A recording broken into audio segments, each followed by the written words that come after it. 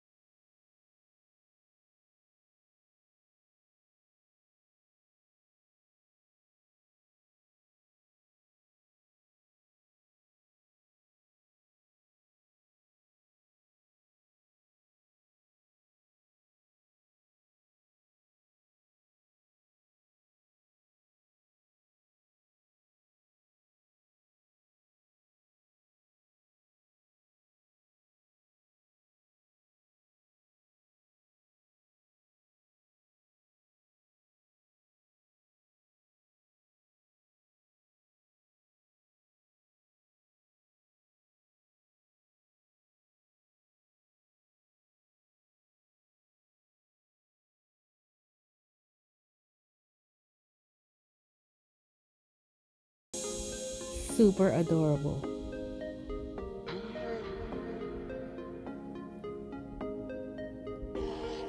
I love these. I can see me with my hot chocolate and my pumpkin spice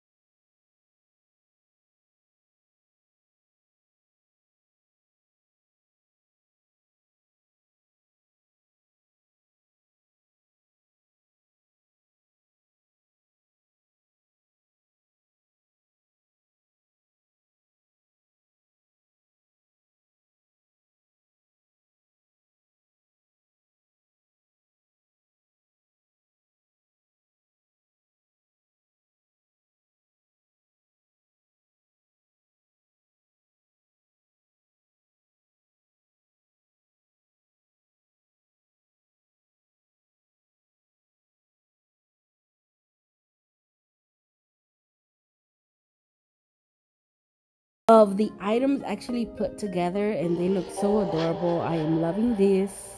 Look at this these colors, these jars, the canisters, everything looks super